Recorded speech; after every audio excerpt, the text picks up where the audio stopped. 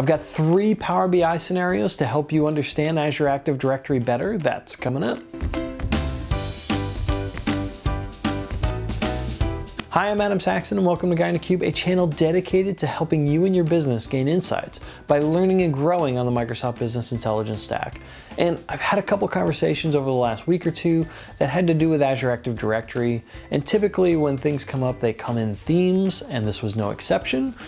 And a lot of this had to do with understanding the difference between Azure Active Directory and local Active Directory. I came up with three scenarios to try and help explain the difference, so hopefully this helps you. For our first scenario, we've got users that are in guyinacube.com. These are actually in a local Active Directory, and they are synced up to Azure Active Directory in their own tenant. These are the users that use Power BI. We then have an Azure VM, and in that VM, we've got analysis services installed. That machine is in the battlestar.com domain. And the scenario here is that we want users in the guyinacube.com Azure Active Directory tenant, the users that are using Power BI, we want them to be able to access analysis services that's in battlestar.com. And the requirement is, is that we do not have a trust between those two domains. The problem here is that the only information we get from Power BI is the UPN of the user through effective username.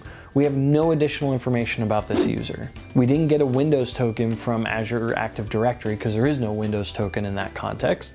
And analysis services is only going to be able to work with accounts that are in a local Active Directory or within another local Active Directory through a trust. In this case, we don't have either.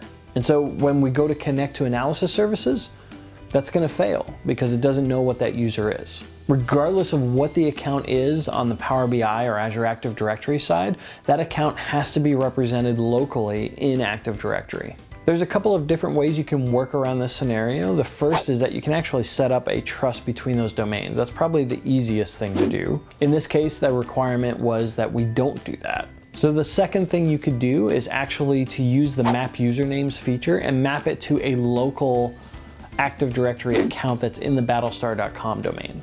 That could get a little tedious though, as you need to either have all the accounts there on the battlestar.com side, or you need to represent all of those accounts within the map usernames feature. Another option you have is to use the custom data option inside of the map username feature. This allows you to send any text that you want to analysis services through the custom data property of the connection string. And this allows you to use a lookup table inside of analysis services through row level security. Another scenario is Kerberos and its relationship with Azure Active Directory. This was in the context of the gateway of the on-premises data gateway. And the, the question there was, do I need to use Kerberos when I'm using the gateway? This is a very complicated scenario and I'm not gonna go through all the details in this video as it would be a very long video, but understand that when you're using Azure Active Directory, there is no Kerberos play there. The Kerberos elements will come into play once you hit your local Active Directory, and that's where all the configuration happens is on accounts in your local Azure Active Directory. That has to do with your delegation settings and your service principal name or SPN settings. Now where Kerberos may come up is when you use your gateway and you connect to, let's say, SQL Server, and if the SPN is there, we're gonna use it and we're gonna use Kerberos to connect from the on-premises data gateway to SQL Server or the personal gateway to SQL Server. But this is just a single hop. Think of the gateway as a client application, so to speak. So Kerberos and delegation are not required, but Kerberos can be used in that scenario.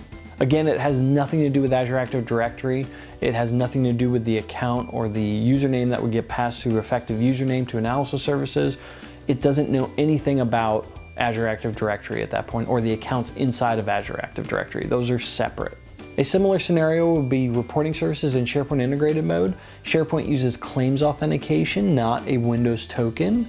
And when we get to reporting services, we need to convert that claims token to a Windows token in order to talk to SQL Server, if you're choosing to use Windows Auth with that data source. So we use the claims to Windows token service to accomplish that. And the claims to Windows token service is where the Kerberos piece takes place. Anything before that is claims auth and has nothing to do with Kerberos. The third scenario has to do with ADFS, which stands for Active Directory Federated Services. And this allows you to integrate your local Active Directory logins with Azure Active Directory. It can be used for other things as well as that, but in this context, it has to do with integrating with Azure Active Directory. So the thought here was that maybe I have a Windows token because I'm using ADFS, and I can use that in conjunction with the gateway to analysis services for live connections. Think back to scenario one. In this case, if we look back at scenario one where we had two different domains and we have analysis services in an Azure VM, ADFS doesn't buy us anything because the scenario is still the same from the gateway's perspective to analysis services. The only information we have is the UPN that gets passed through effective username. Where ADFS helps you in that scenario is logging into Power BI. Once you're logged into Power BI, you're on the Azure Active Directory side of things and there is no Windows token. Also in the context of ADFS, we actually make a copy of your local Active Directory account into Azure Active Directory. This is done via DirSync through Azure AD Connect. And so your account's actually going to be represented in two different locations, in Azure Active Directory and in your local Active Directory. So in the case of the gateway and analysis services, ADFS doesn't buy you anything there. Power BI is only aware of Azure Active Directory, and Analysis Services is only aware of your local Active Directory. So whenever you're using accounts in either location, they have to be represented in those specific locations. Okay, do you have a scenario that's different from what I laid out here? I'd love to hear that. Go ahead and leave that down in the comments below. And if you like the video, be sure to subscribe if you're not subscribed. Every Tuesday I do a technical item such as this, and every Thursday I do a news roundup where I find things that were interesting to me and share that out with you. Thank you so much for watching and keep being awesome.